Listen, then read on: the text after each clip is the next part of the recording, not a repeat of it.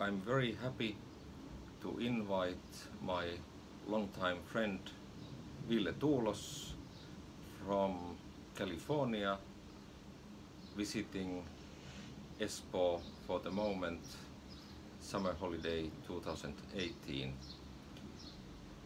It's my pleasure to welcome Ville to discuss about the long-term developments related to artificial intelligence and machine learning and other things like that. But I remember from uh, when was it? So it must have been 97 or 98. Yes, 97 most likely, or maybe 8. So, but I remember that I got an uh, email uh, from a young scholar, a student who was, you must have been something like 16 years old. 15 actually. 15, so, yes. Yeah, So you uh, posed a question related to neural networks. that's right. So I had uh, defended my PhD thesis on using self-organizing maps Mhm. on natural language processing, and you had read about it. Yes. So yeah, it is. It is really an amazing coincidence. And by the way, I mean, thank you for inviting me. It's so so great to see you again. And um, yeah, no, I mean, I, I remember being really really fascinated about neural networks. And Yes. like uh, all the material I could find at the time was about backpropagation and like building a basic supervised models and using numerical data. And then I just I, I can't even remember how I came across your PhD thesis about natural language processing. And it was just such a mind-blowing experience to learn about the possi- possibility. Happy to hear that. Yeah, Yes, and yeah. it was such a surprise to get a kind of uh, insightful email message from a school's uh, kind of. Uh, right, right. No, and I, I well, I mean, the, the reason I, I think I contacted you was, I mean, because of the PhD thesis, but also due to the fact that like you were the chairman of the Artificial uh, Intelligence Society of Finland at the time, Yes. and uh, and I thought that okay, so I mean, like I guess I can't uh, lose much by by asking that how do you actually represent uh, natural language like for a neural network. And I, and I remember you replying, which was um, a, big success for me. I mean, like a 15-year-old, I mean, I, I felt really proud of myself that I even got the reply, like from, from someone who had defended like his PhD thesis recently.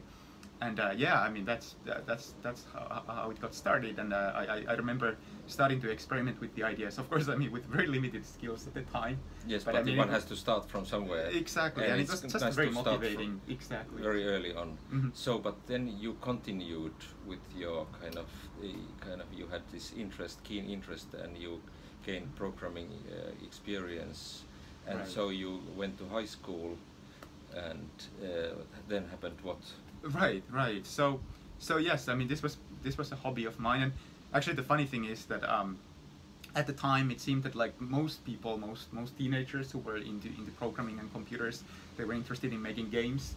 And uh, well, I mean, maybe financially it would have been a better idea to be interested in making games. I mean, looking looking at the history in Finland now, uh, but like I, I really wanted to focus on, on, on the question of artificial intelligence. I mean, it just felt so fascinating.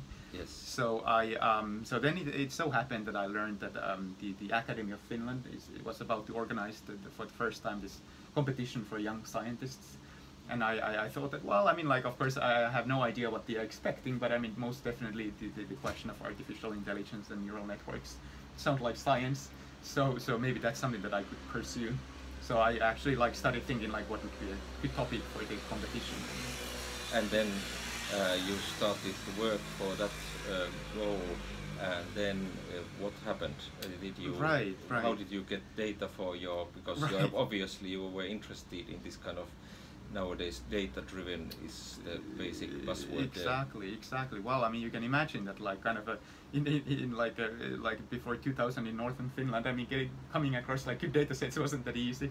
Yeah, So- and you lived in Oulu, Finland. That's right, that's so right. Oulu is some, is it 600 whatever kilometers north from Helsinki? That's right. About 100 miles south from the Arctic Circle. So. Yes. Yeah. So not many other things to do besides like Yes. hacking. So, so yes. So it happened, and I actually like.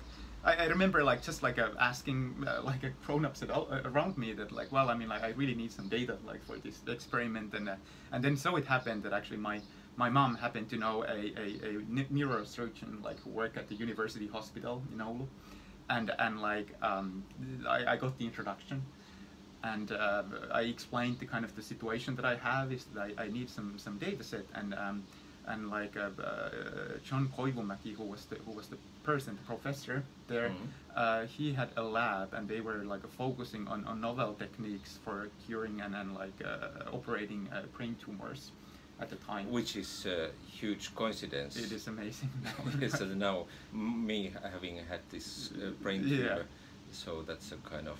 But I- I- we can- it is. it we can is. discuss that uh, soon more. But Right. but let's go through this part of right the story. right so i mean like i'm, I'm, I'm very thankful for them for uh, for for um, letting me to to kind of uh, uh, like work with them in a sense that like they they had these um, mri devices um, magnetic resonance devices and, and they had been collecting the images from from different kind of lesions and, and tumors but of course the data by nature is, is extremely sensitive so So you like, couldn't you couldn't kind of just take no, the data. no, I'm, I'm actually like very happy that they just gi- didn't give it to a random teenager asking, so it wouldn't feel very appropriate. So. Exactly, and so that's why you need to go there to work. Exactly. So I mean, like the, the compromise that we found was that I was able to take my, my computer, my personal computer, which was of course a pretty big box at the time, and I actually like kind of uh, got it like to the hospital premises, and I was able to kind of uh, do the hacking there. And I, I remember that I, I, I hacked this uh, like a very simple neural network um, uh, in, in, in C.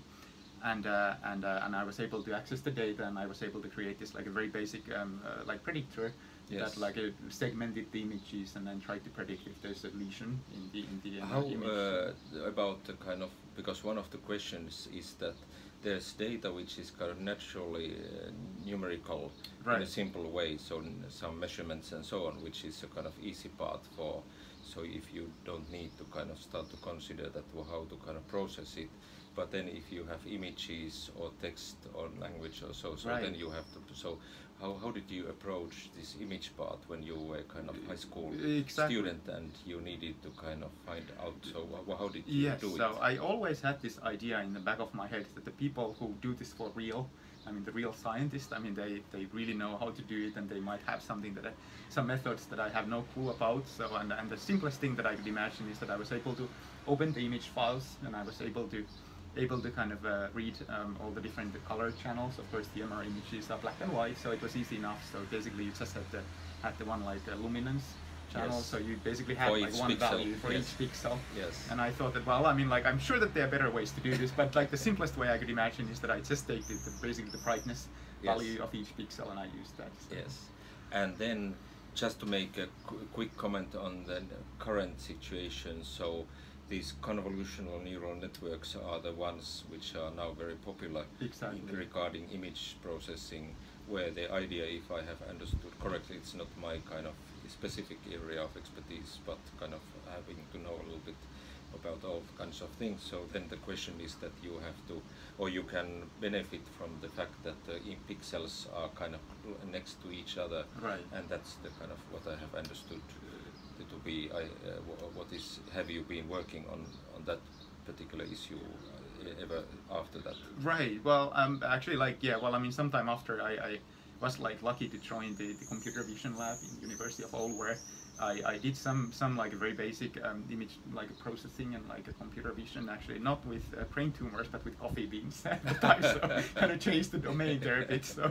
a little bit less sensitive Yes, from the privacy so, yeah. issues. Yes, yes, and that's of course a question like now regarding my own situation. I would be very happy if or, or everyone would be keen. The researchers would be keen on studying the kind of the That's right. details of the images and, and I'm- whatever could be learned from that. Yeah, and I have to say that of course now I mean the, over the past ten years or so, I mean this that particular field has been advancing so fast. What would sure. be your, uh, how would you characterize the ma- major parts of the Well, developments in I, the I mean, like ob- obviously the whole whole field with deep learning, I mean, Yes. has like changed. And I actually remember that this was.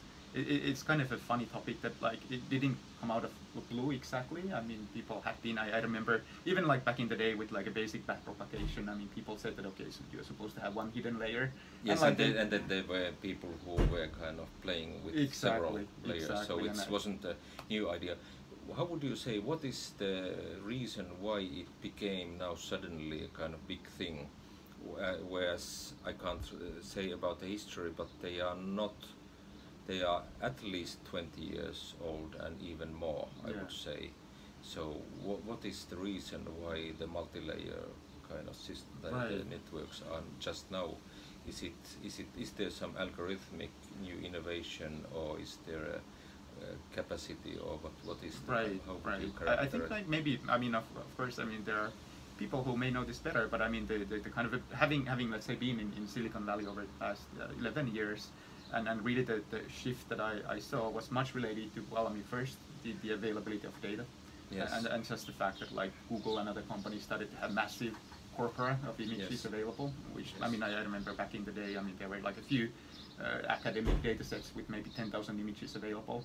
And it actually does make a qualitative difference once you have, let's say, millions or tens of millions or hundreds of millions of images available. yes yes And, and the second one was obviously the computational power yes that was yes. available, and, and the combination probably kind of helped. And then, of course, after that, I mean, people started making algorithmic improvements. Yes, because those who are coming from outside of AI or machine learning area, they may think that there are some kind of breakthrough innovations, but I think many algorithmic and methodological kind of innovations have been uh, done already 20 or 30 years ago even. Exactly, exactly. And then it's kind of the, the, the good news is that like the many of the solutions are, are kind of well established. Yes, The, the the downside I would say is that also the, the problems are the same.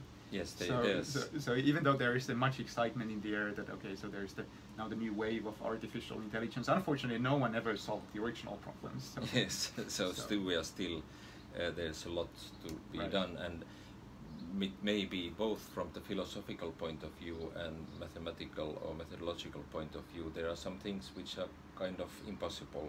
One Yeah. can prove that some things are kind of not solvable or something that. But I guess uh, sometimes when we are dealing with artificial intelligence, there are things which are such that we kind of say that the machines can do things and we humans can. Mhm. But I guess those uh, same principles related to learning also apply to us. So we are Mhm. not at all perfect.